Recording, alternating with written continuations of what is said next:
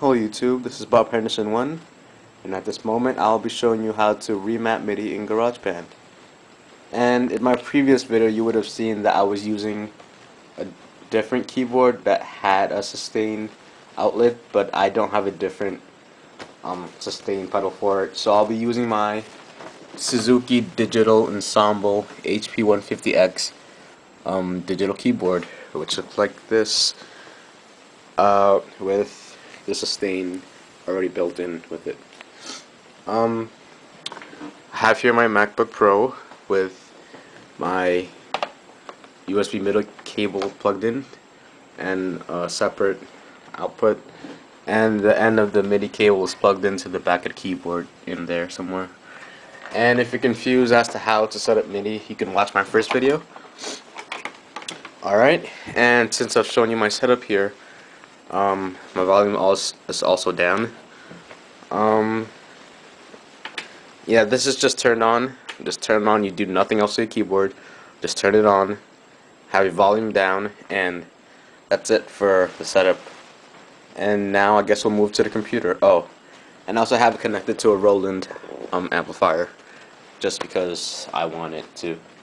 And now we'll move on to the computer. Alright, here we are at my desktop and the first thing you want to do is open up GarageBand or whichever software you're using but I'm going to teach you how to remap MIDI and GarageBand. So new project piano and start that project. We're just going to test here to make sure that our MIDI setup is working. And it seems to be working so far and sometimes if it doesn't work, what you're gonna do is go to audio MIDI setup and just add a new configuration if it doesn't work for you. Sometimes I experience that doesn't work, and that's what I have to do. Otherwise, you should be set to go. Alright, and so some people are saying that their sustain was not working as supposed to but it seems here that my sustain works pretty well because that's a C chord that's not sustained. Uh, let me get the.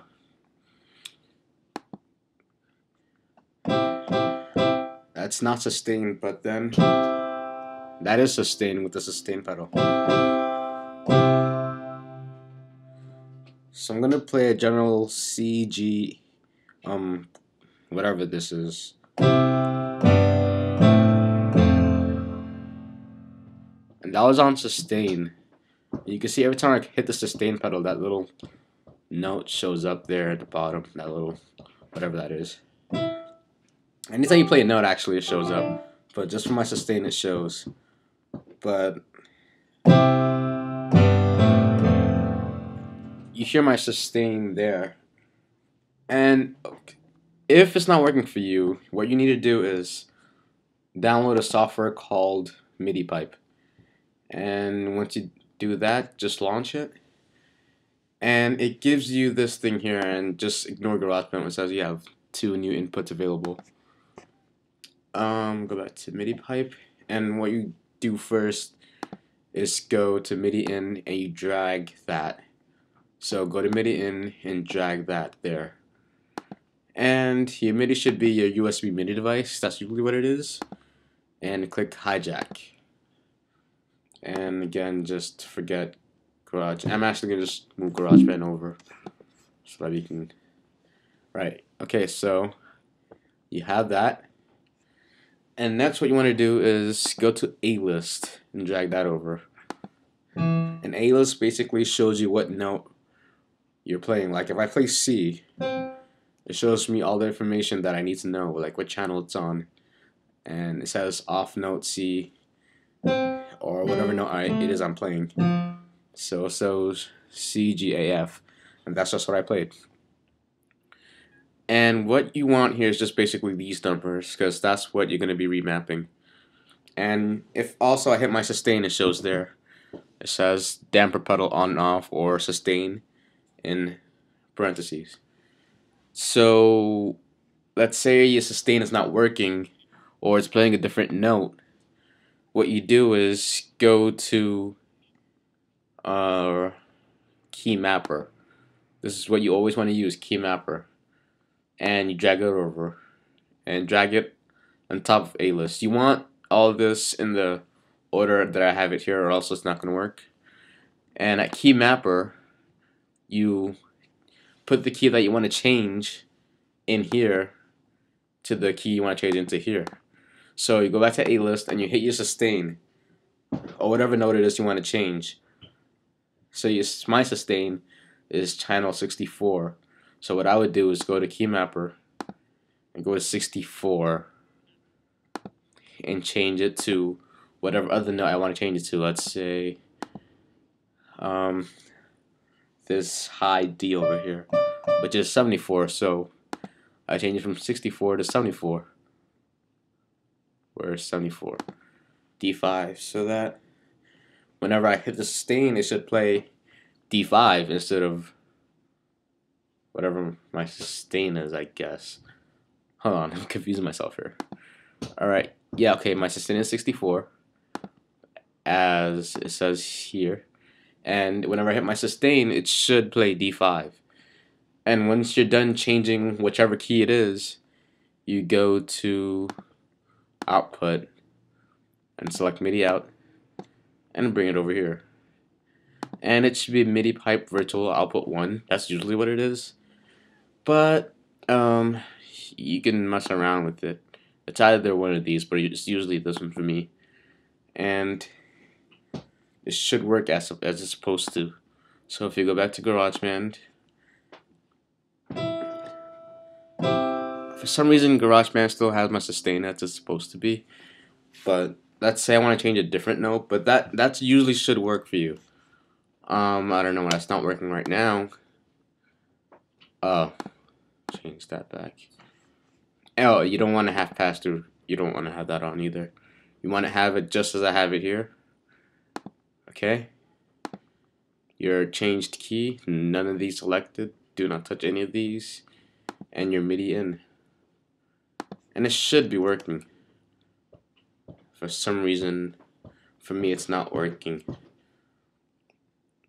But let's say you want to change a different note that's not your sustain. But that should work. That really should work for your sustain to change it. But let's say I want to change a different note. Say I want to change C, which is 48, to this D over here, which is 62. So I'll go to key mapper and change 48 to 62. and you can hear that both of their notes now play at the same time. As I hit one key, they both play. Let me go back to GarageBand so you can see that. But that's how it should work. That's how it should work. In GarageBand here, I hit one note and both of them play at the same time. Alright? But if I hit the single D note, it doesn't happen. But if I hit the C note, it does change. So that's how it should work for all your other, for any other key you select to change. And you don't want that selected or anything else selected at all. And then you can go ahead and save that if you want to save that, I have it on my desktop. Or you can just have it there for the time being, but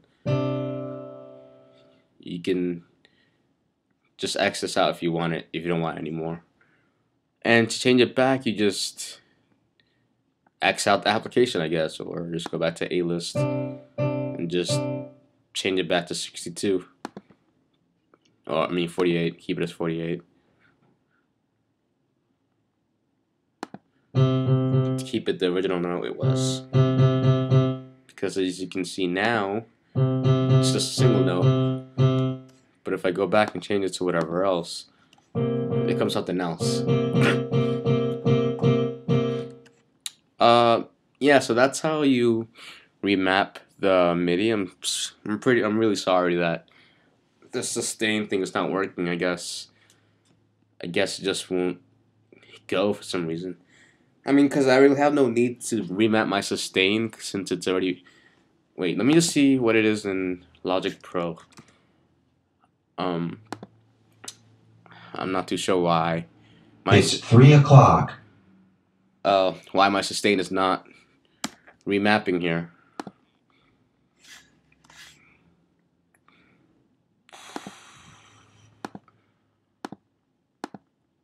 Damn it. Alright. Let's just lower the volume of GarageBand so it doesn't interfere. Alright, so on Logic Pro,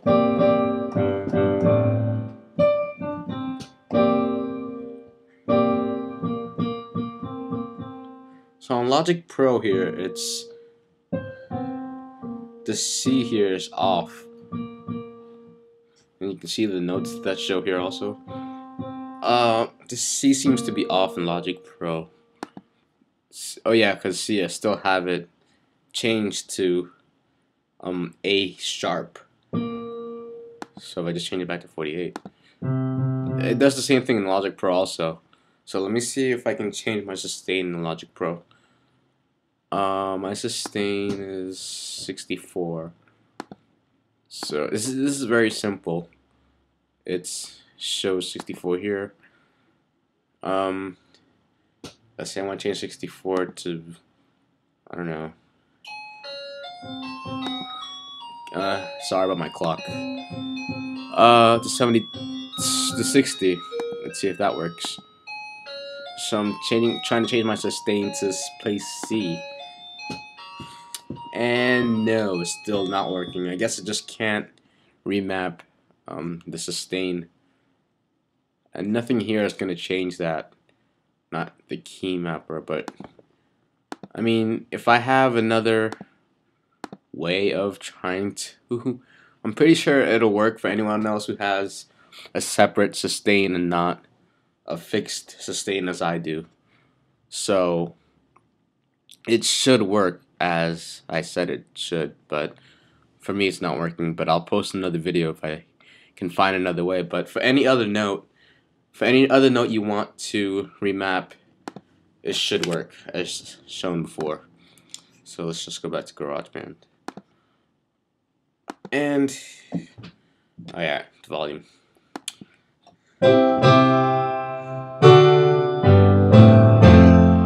That's my sustain. Post any comment if you have any questions.